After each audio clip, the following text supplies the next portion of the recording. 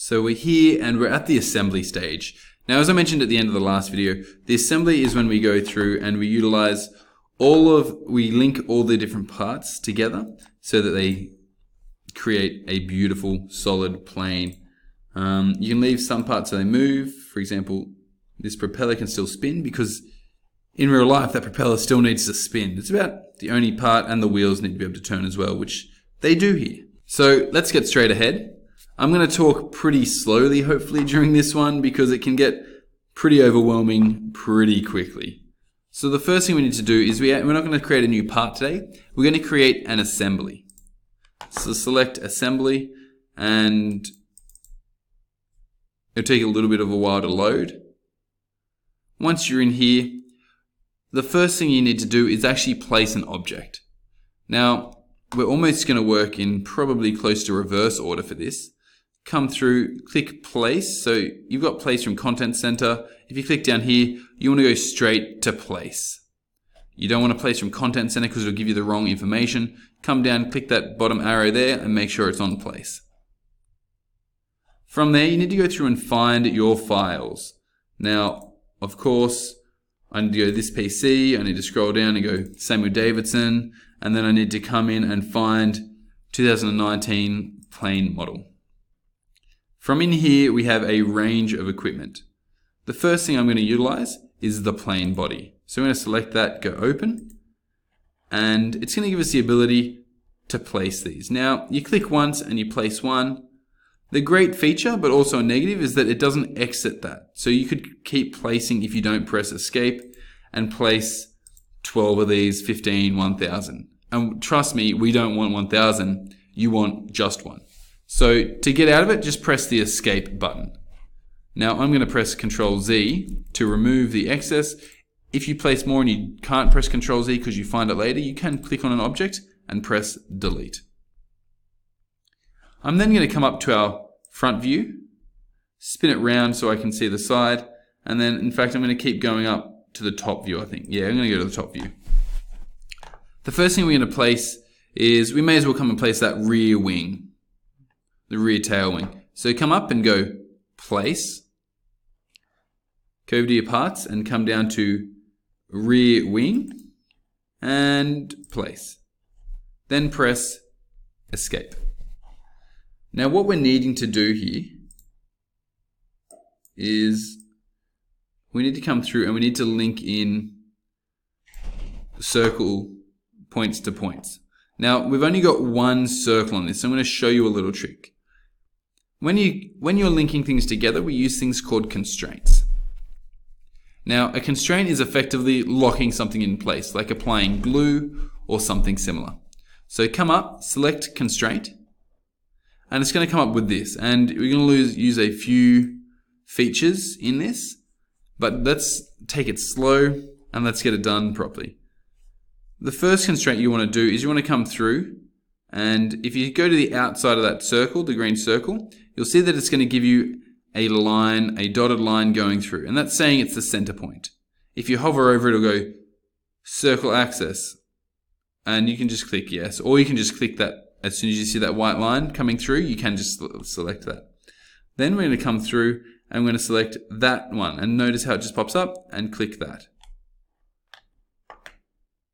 From there, you press OK. And you'll notice that this is now able to move up and down like that. It's locked in that those two center points stay together. So that the two line middle points of the circle cannot move, but this can spin around. What I'd like you to do quickly is we're going to come to the rear wing. I want you to press the arrow to the side and double click, or sorry, right click and press edit once you, you find this again, I want you to come through and you're going to choose the second option here. What that's done is it's actually just flipped the wing upside down and so that we still have access to that circle that we've drawn. Press OK. So you can see the circle that is net there now and it's still in line with that circle there. The next part of constraining is we need to link these two objects together so that they sit flat. So go constrain, select the bottom edge there. Now, then you can select the bottom edge of this. Now, you can go around and just choose that and you'll see that there's a white line that appears. Or sometimes it's easier to just flip the thing around until you can see that bottom side that you want and click. And press OK. Now, it's going to flip your plane around a bit and mess, so I always like to try and go back to a front top view so I can kind of see what's going on, or even just a top view. What you'll notice now is that um, if I go on a slight angle up here, it's locked in, it sits flat on the plane, and it can't go side to side. It can only spin around in circles because we haven't locked in a front edge. The next thing we're going to do is we're going to go constrain now, the shortcut for this constraint is C. Then you're going to choose this front, you can choose this front edge here, and then you can choose that front edge there. Once again, sometimes it's easier just to spin that front edge there. And we've said, if you come down and look at this box here, that we want those two edges to touch. Press OK. And what you'll notice now is when I select that wing, it can't go anywhere. When you constrain things, you always want to use a three point constraint if you don't want it to move. Three points is generally all you need. And um, if you leave, if you do a two point constraint, often the objects can spin or twist, which is fine for a propeller, but not fine for a tail wing. From here, we're going to go through and we're going to add the rear tail wing on top. To do that, we need to place it. So place, you can also press P for place as a shortcut. Come down and go rear wing vertical, double click it, and just place one of those and press escape. As you can see, we've got this sitting here. It can move up and down, it can move anywhere. The first thing we need to constrain is that the center point of this circle here. And underneath here, there's a center point in that circle. Now for me, I'm just going to flip that around until I can see it, zoom in, and then go to the outside edge and select that. I'm then going to go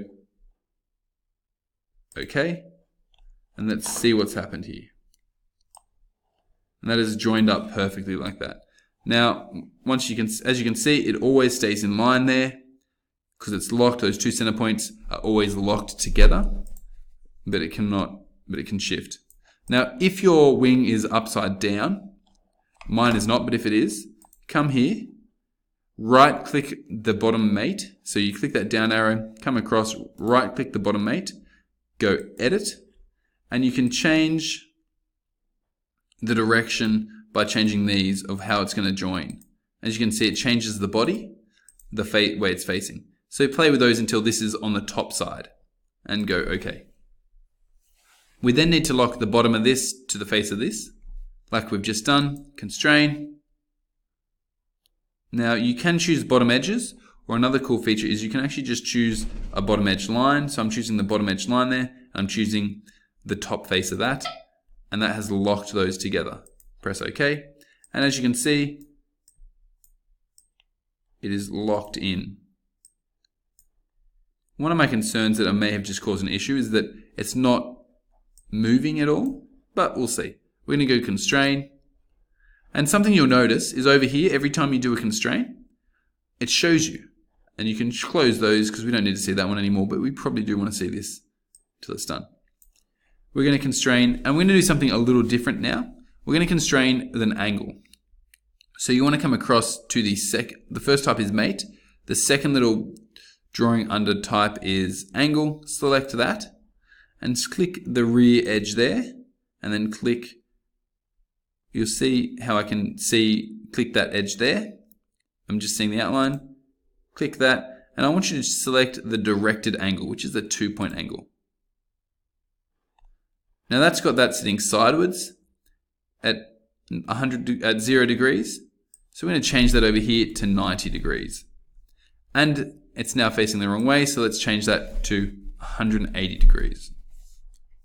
Struggling here. Let's go one more time to 70 degrees.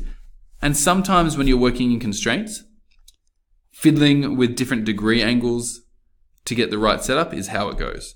And press OK. Congratulations, you've now constrained the rear wing and the uh, yeah the rear wing and the rear wing vertical. We're going to stop the video here so it just doesn't get too large and overwhelming. So once again, congratulations on finishing yet again another video.